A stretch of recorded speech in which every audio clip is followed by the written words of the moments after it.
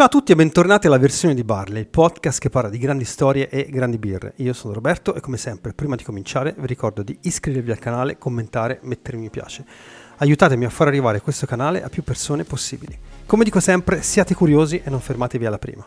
Ringrazio lo sponsor di questo video, cioè GamsGo, il portale di condivisione degli account di servizi streaming. Rimanete collegati fino alla fine del video per maggiori informazioni è un codice sconto pensato apposta per voi che seguite la versione di Barley. Oggi parliamo di una serie la cui prima stagione risale al 2019, la cui quarta stagione è uscita da poco su Amazon Prime Video. Non parlerò nello specifico delle singole stagioni anche perché la quarta non ho neanche cominciato a guardarla, ma cercherò di capire come un progetto sulla carta estremamente valido anno dopo anno sia diventato una sorta di parodia di se stesso. Uno dei maggiori problemi di questa serie è il suo materiale originale, cioè un fumetto talmente violento che la sua casa editrice dovette cederlo ad un competitor per evitare una shitstorm colossale. E per quanto vi potrà sembrare violenta la serie, sappiate che il fumetto da quel punto di vista è inarrivabile. Il titolo della serie è The Boys, curata dallo showrunner Eric Kripke e tratta dall'omonimo fumetto scritto dall'autore britannico Garth Ennis e illustrata da Derek Robertson. C'era un tempo in cui i supereroi erano delle divinità, un tempo in cui bestemmiare i supereroi era l'eccezione. Era lo strappo con il mainstream che ci faceva sentire sovversivi. Ma oggi che i supereroi si bestemmiano da soli, noi pubblico come possiamo professare il nostro eretismo? Bestemmiamo insieme dopo la sigla. Camera and motherfucking sound!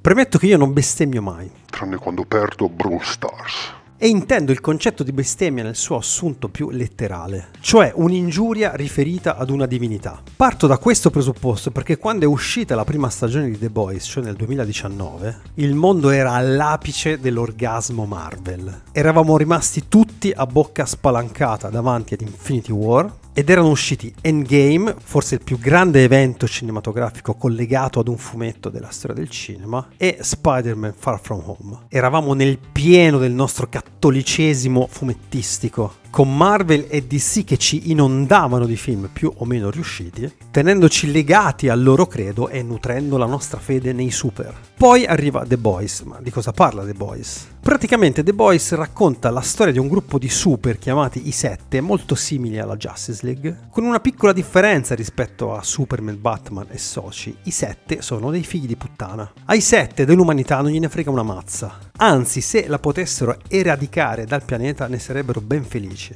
Ma allora cosa ci stanno a fare sulla Terra? Semplice, i sette sulla Terra fanno business. Gli eroi che compongono il gruppo dei sette infatti sono di proprietà di una multinazionale chiamata Vogt, che ne gestisce l'immagine e le azioni, guadagnando gazzilioni di dollari dal merchandise e da ricchissimi contratti con il governo e con la difesa. A differenza dei nostri santi eroi Marvel e DC, i sette per difendere l'umanità vogliono essere pagati. Nel fumetto i The Boys sono un gruppo di underdogs che odiano tutti i super e che in un certo senso li controllano e ne puniscono le azioni attraverso tutti i mezzi possibili, soprattutto la violenza. Nella serie invece i The Boys sono un concetto simile. Sono sempre degli underdogs che odiano i super, ma vengono assoldati dal governo per scoperchiare il marcio che riguarda i Sette e la Vogt, perché fondamentalmente il governo è stanco dei ricatti della multinazionale. Senza farvi troppi spoiler, la prima stagione di The Boys è uno spasso, è tutto al posto giusto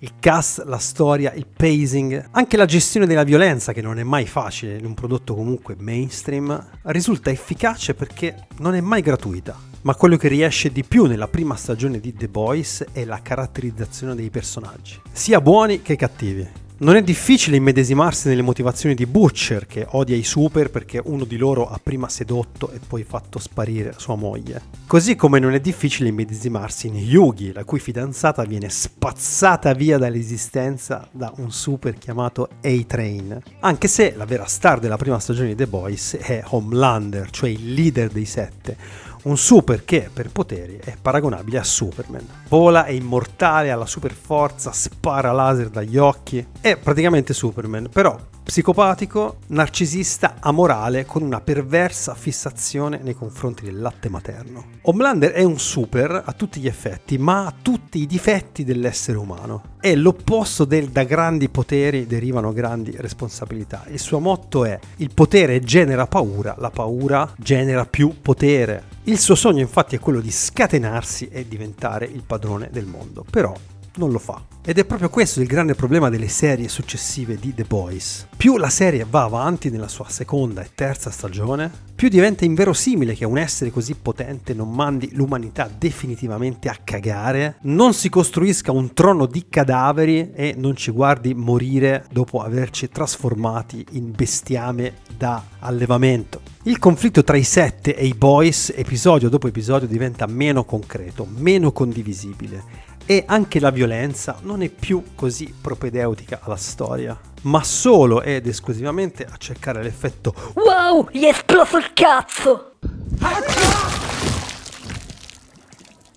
C'è anche da dire, e forse è proprio questo il problema più grande di The Boys, che dal 2020 i film e le serie dedicate ai supereroi, soprattutto Marvel, hanno perso la loro santità. Sono diventati terreni, pieni di difetti, umani, quindi non più bestemmiabili. E paradossalmente si è creato un ambiguo parallelismo tra le dinamiche raccontate in The Boys e quelle della realtà, dove nella fiction c'è la Vogt che sfrutta i super fregandosene dell'umanità inseguendo solo il profitto, nella realtà c'è la Disney che sfrutta i super fregandosene del pubblico, inseguendo solo ed esclusivamente il profitto. In un contesto così ibrido tra finzione e realtà, The Boys, almeno per me, ha perso di efficacia. Nella seconda e nella terza stagione hanno provato a rialzare la posta infilandoci i nazisti, vabbè, è quella che io chiamo la mossa della disperazione, cioè la mossa del I am your father. Inserendo un personaggio, cioè Soldier Boy, che poi si scopre essere il padre di Homelander, quindi il nonno del figlio nato dalla moglie di Butcher e bla bla bla.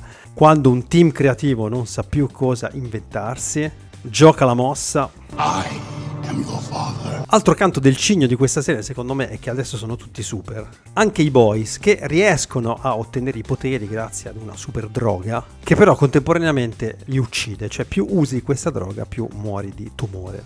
Super cazzole di un certo livello, eh. Il tema forte della prima stagione era l'umanità fallace contro le divinità ancora più fallaci. Ora invece di umano non c'è quasi più nessuno, è solo una battaglia tra psicopatici sotto un super MDMA. Come ho detto all'inizio del video, il fumetto è talmente hardcore che la prima casa editrice che lo pubblicò nel 2006, cioè la Wildstorm, un'etichetta della DC Comics, solo un anno dopo, nel 2007, dovette cedere i diritti di distribuzione del fumetto ad un'altra casa editrice, cioè la Dynamite, per le accuse di eccessiva violenza. Per dirvene una, nella serie Homelander mette incinta la moglie di Butcher con un rapporto consensuale e da questo rapporto nasce un figlio super che noi conosciamo nella serie già preadolescente. Nel fumetto Homelander violenta la moglie di Butcher che rimane incinta senza nemmeno accorgersene e il feto super una notte sventra la moglie di Butcher iniziando a fluttuare per la stanza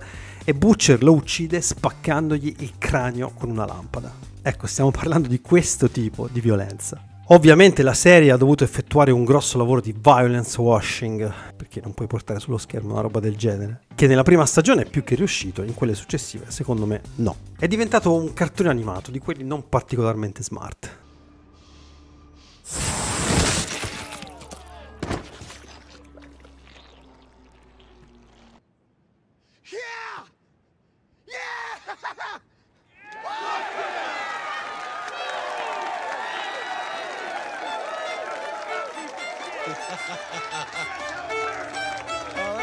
I set nella genesi del fumetto erano direttamente ricollegabili a personaggi della DC Comics. Homelander Superman, Queen Maeve Wonder Woman, A-Train Flash, The Deep Aquaman, Noir Batman, e come ho detto prima, quando questi personaggi erano circondati da un'aurea di santità, Era divertente guardare la loro versione difettosa, fregarsene dell'umanità e sguazzare nell'edonismo. Ma ora che gli eroi sono davvero morti, l'irriverenza di The Boys non è più blasfema verso uno status, ma si limita ad essere autoparodistica. Detto questo, guarderò la quarta stagione di The Boys? Sì, quando troverò del tempo, diciamo che non è in cima alla mia lista. Prima c'è la terza stagione di The Bear.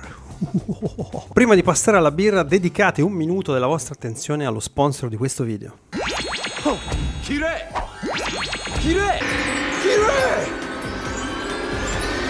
Quanto costano gli abbonamenti delle piattaforme streaming più famose? Netflix 12,99€ al mese, Disney Plus 8,99€. Spotify per la musica 10,99€ al mese, Paramount Plus 7,99€, Crunchyroll 4,99€ al mese. Essere abbonati a tutte queste piattaforme contemporaneamente vi costerebbe quasi 46 euro al mese, sono più di 500 euro l'anno.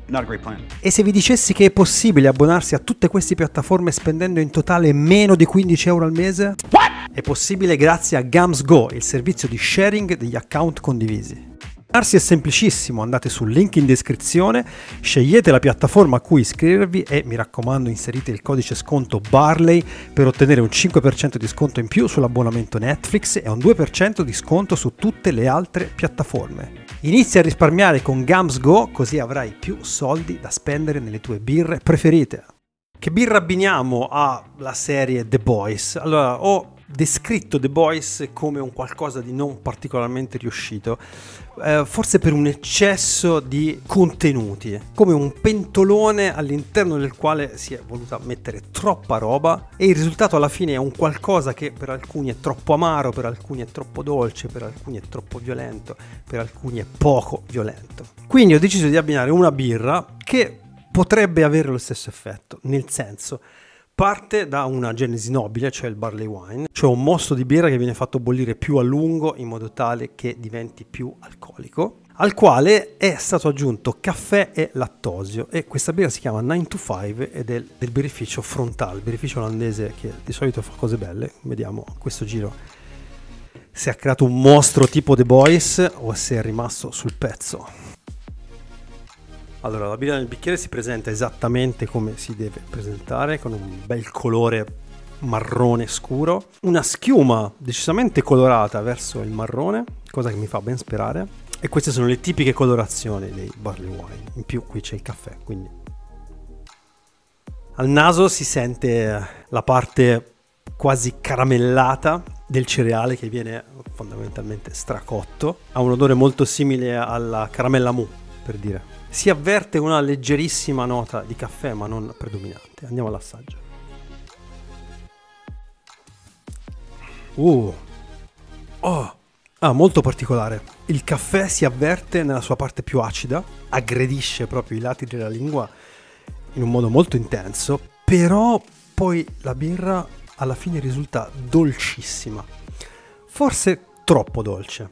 Quindi sì, direi che questa birra è un po' come The Boys. Hanno voluto fare troppe cose contemporaneamente e il risultato non è del tutto soddisfacente. Quindi The Boys è arrivato alla sua quarta stagione, trovate tutto disponibile su Amazon Prime Video, è una visione abbastanza consigliata se non avete proprio niente di meglio da fare. The Boys abbinati alla 9 to 5 del birrificio frontale, un barley wine con caffè e lattosio non particolarmente riuscita, perché non mischia bene le varie anime di questa birra. Il caffè si sente eccessivamente nella sua parte acida e il barley wine è troppo dolce per essere considerato un barley wine al top della sua maturità.